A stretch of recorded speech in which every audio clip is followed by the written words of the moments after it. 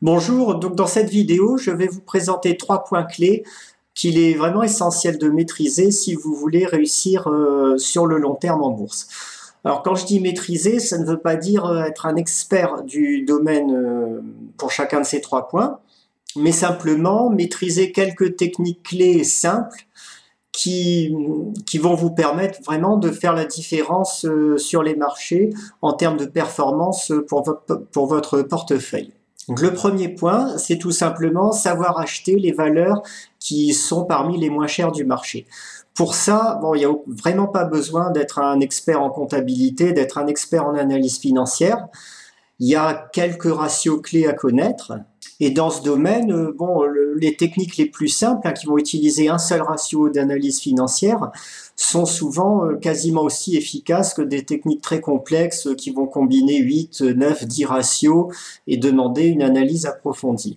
Donc, si les marchés étaient parfaitement efficients, hein, bien sûr, ces ratios n'auraient aucun sens puisque euh, le prix d'une action reflèterait euh, vraiment sa vraie valeur à l'instant T et intégrerait les anticipations futures euh, de croissance, de bénéfices qu'elle aurait. Dans la réalité, c'est absolument pas le cas. Les marchés ne sont pas efficients. Il y a des anomalies de valorisation et euh, les anomalies sont d'autant plus grandes qu'on va aller vers des valeurs euh, qui sont les moins en vue, les, moins connues du marché, donc vers les petites capitalisations. Vous avez dans cette image le backtest euh, d'un ratio tout simple qui est le ratio capitaux propres sur capitalisation boursière. Plus ce ratio sera élevé ou plus son inverse, c'est-à-dire la capitalisation boursière divisée par les capitaux propres, sera petit, plus la valeur pourra être considérée comme bon marché euh, indépendamment d'autres euh, facteurs qui permettent de, donc de la valoriser. Si on regarde les performances de ce ratio, on voit donc euh, là on a une comparaison sur du très long terme, hein, de 1927 à 2015, donc on a plus de 80 années de données. Les valeurs les plus chères sur ce seul ratio performent sur la période à raison de 6,3% par an, alors que les valeurs euh, qui présentent le meilleur ratio, donc le ratio le plus bon marché, vont réaliser une performance de 20,2% par an. Donc vous voyez quand même un écart de 14% entre euh, les deux entre les deux déciles opposés. Et cet écart de pourcentage, euh, donc si on le traduit sur du très long terme, hein, sur une période de 15, 20, 30 ans, ça va vraiment faire la différence pour vous. Euh, si vous partez avec un capital de 50 000 euros au départ, dans un cas, bah, vous mettrez euh, plus de 50 ans euh, pour avoir un capital suffisant pour devenir entier et vous ne profiterez jamais de votre effort d'épargne. Dans l'autre cas ici, bah, vous deviendrez rentier en une quinzaine d'années et vous serez tranquille ensuite pour le restant de votre vie.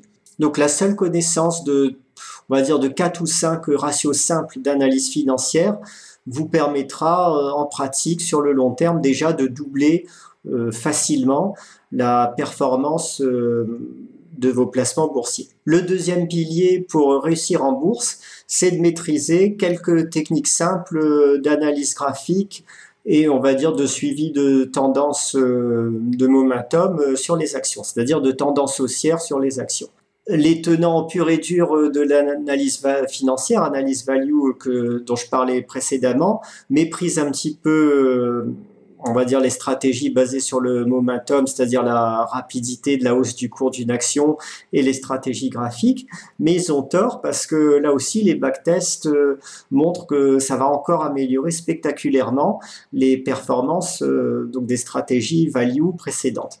On a ici une étude hein, sur une douzaine d'années et donc vous voyez euh, dessus, euh, donc les auteurs de l'étude ont pris initialement euh, les valeurs qui présentaient le meilleur ratio donc free cash flow sur valeur d'entreprise. Donc c'est un ratio d'analyse financière classique qui, est très efficace, qui a montré son efficacité dans de nombreux backtests. Et ensuite, ils ont ajouté à ce, second, à ce premier ratio d'autres critères. Donc, ils combinent deux ratios. Et ce qu'on voit ici, c'est que si, on prend deuxième ratio, la tendance euh, haussière d'une valeur euh, sur 12 mois ou sur 6 mois, entre les valeurs qui ont la plus forte tendance haussière et les valeurs qui ont la plus faible tendance haussière, c'est-à-dire les 20% les plus faibles sur ce critère contre les 20% les plus fortes, on a des différences de performance hein, sur la période étudiée, donc 12-13 ans, qui sont spectaculaires. Euh, on passe de 5 à 35% pour les plus faibles, à des performances de 580 à 755% pour les plus fortes. Sachant que toutes ces valeurs sont parmi euh, les meilleurs sur la base du ratio d'analyse financière, euh, donc free cash flow, sur euh, valeur d'entreprise. Donc la prise en compte ici d'une tendance graphique, c'est-à-dire d'une tendance haussière de la valeur plus forte que la moyenne du marché, c'est tout simple. Hein, c'est on regarde sur donc sur n'importe quel le site de n'importe quel broker combien de pourcents la valeur a gagné sur 6 mois ou sur 12 mois, c'est sans aller plus loin et ben rien qu'avec ça, on, a des différences spectaculaires de performance. Donc regardez un graphique euh, boursier euh, en quelques, on va dire quelques secondes, hein, simplement pour vérifier que la valeur que vous envisagez d'acheter présente une tendance haussière qui est significativement plus forte que la moyenne du marché. Rien que ce petit geste euh, vous apportera de gros gains sur le long terme dans vos sélections d'actions le troisième point, c'est de savoir anticiper un minimum euh, les récessions et les marchés associés euh, quand ils se produisent euh, pour pouvoir éviter donc de subir des pertes dans votre portefeuille de 30, 40, 50% les mauvaises années. Là aussi, bon, beaucoup d'investisseurs euh, value méprisent un peu euh, cela. Ils disent que bon, le market timing c'est quelque chose euh, d'impossible à faire et que si on reste en mode buy and hold, c'est-à-dire qu'on conserve ses actions, qu'on reste investi en, simplement avec de bonnes stratégies de sélection value, on gagnera très bien sa vie sur le long terme. Alors c'est en partie vrai, hein, il y a eu des backtests ici qui ont été faits donc sur le ratio de Schiller, qui le ratio de Schiller, c'est un ratio qui va permettre euh, d'indiquer si le marché est euh, anormalement cher ou anormalement bon marché par rapport à sa moyenne historique en se basant sur euh, des PER moyens sur 10 ans pour s'affranchir des effets de cycle. Donc sur ce graphique, on a des différentes courbes de performance. Ici, c'est le cash. La petite euh, courbe, euh, la montagne grisée ici, c'est la moyenne du marché, donc euh, l'indice boursier SP500. Et la courbe verte ici, qui fait 100 fois mieux que la moyenne du marché, c'est la courbe euh, qui est basée sur le ratio euh, capitalisation sur capitaux propres, donc euh, stratégie de sélection value classique, on cherche les valeurs qui décodent sur capitaux propres, en restant investi en toutes circonstances, marché baissier ou marché haussier, sans se préoccuper des cycles économiques. Cette courbe, elle donne apparemment, elle donne dans le backtest de meilleurs résultats que des stratégies qui, ont, qui consistent à se baser euh, sur le fait qu'on va vendre et rester en dehors du marché euh, pendant les périodes où il est anormalement cher, où le ratio de Schiller est anormalement élevé. Donc là, les auteurs ont testé plusieurs stratégies basées sur des écarts types euh, du ratio de Schiller, et quelle que soit la stratégie qu'ils utilisent, là, elles ne font pas mieux que la stratégie qui consiste à rester complètement investi. Donc on peut se dire, euh, bah, sur la base de ce graphique, on ne s'occupe pas de, la situation du marché, de savoir s'il est cher ou pas cher, parce que sur le long terme, on va gagner. En réalité, le, problème, c'est que le ratio de Schiller et les ratios qui mesurent euh, si un marché est cher ou pas cher ne sont pas efficaces euh, pour prévoir exactement le, moment pendant lequel la crise va se déclencher. Pour ça, il y a d'autres ratios simples hein, que j'utilise qui fonctionnent très bien par exemple l'inversion de la courbe des taux, qui sont beaucoup plus spécifiques et qui vous permettent de sortir euh, au dernier moment, juste avant, euh, on va dire quelques trimestres avant le retournement. Alors qu'avec ce ratio de euh, le marché est cher, oui, mais il peut rester cher pendant des années, comme c'est le cas en ce moment. Et si vous vendez sur cette base, vous risquez de rester euh, en dehors du marché pendant 4 ans, 5 ans, 6 ans ou plus. Et à ce moment-là, évidemment, euh, la performance de votre portefeuille s'en ressent. Maintenant, quand vous êtes pris dans un vrai marché baissier, il faut savoir que les meilleures stratégies euh, value du monde vont, vont se planter et toute quelle que soit la stratégie que vous utiliserez, vous allez prendre euh, une grosse baisse euh, dans la tête. C'est quelque chose qui, a été étudié là aussi.